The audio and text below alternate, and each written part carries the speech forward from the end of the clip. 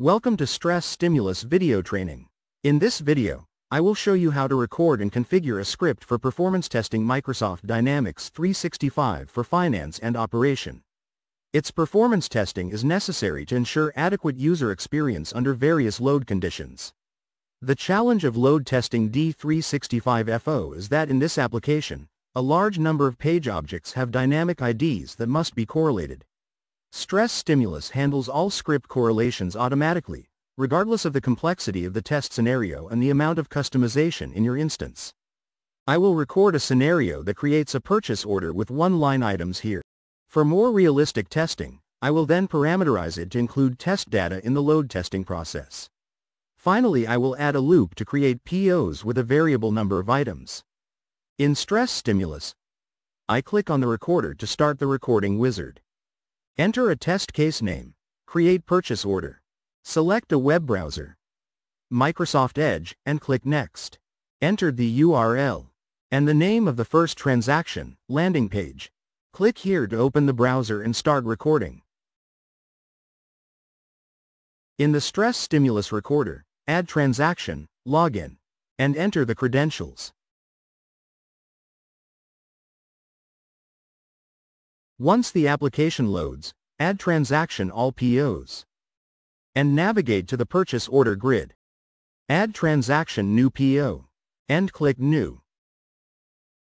Paste the customer number. And click OK. To add a line, create a new transaction, add line item. Click Add Line, and paste the item number D0001. Add transaction save. And click the Save button. Log out. And sign out. Click the Stop button to end the recording. The StresStimulus proprietary autocorrelation engine is scanning the script and creating correlation rules automatically.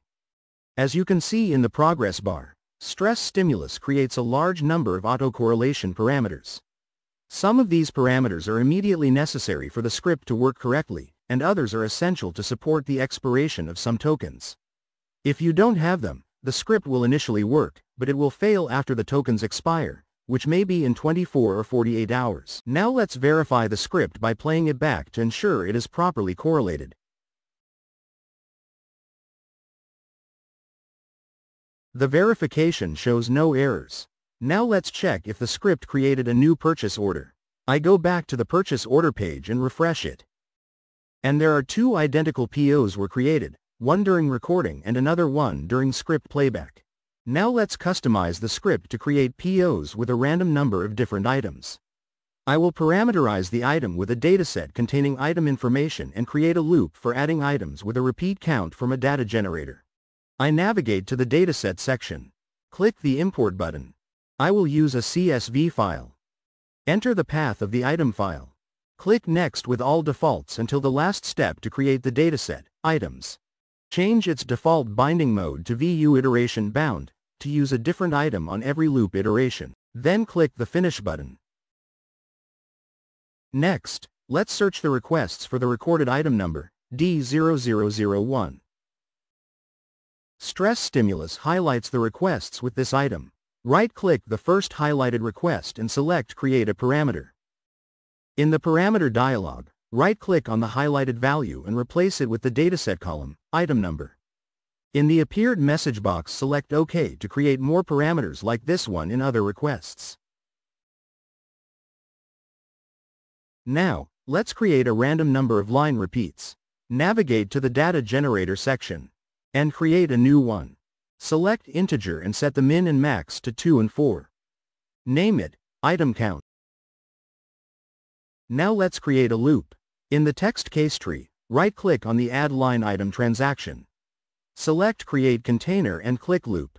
Set the number of repeats property to the new data generator, item count.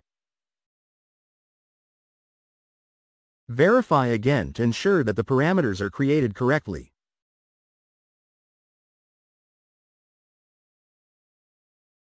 The verification reported no errors. Let's also check in the browser that one more PO was created. Refreshing? A new PO was created. Click to confirm it has a random number of lines exceeding 1. It does. And the item numbers are from the dataset. Now this script is ready to be used in a load test. For help with test configuration, users can schedule scripting sessions from the StresStimulus Help menu, Support Options. Let's review the main takeaways. We went over the following StresStimulus elements. Correlation required for D365FO scripts to work is automatic. Parameterization allows using test data. Loops are used to customize user flow. Scripting sessions provided as a part of support are scheduled from the StresStimulus application. Thank you for watching.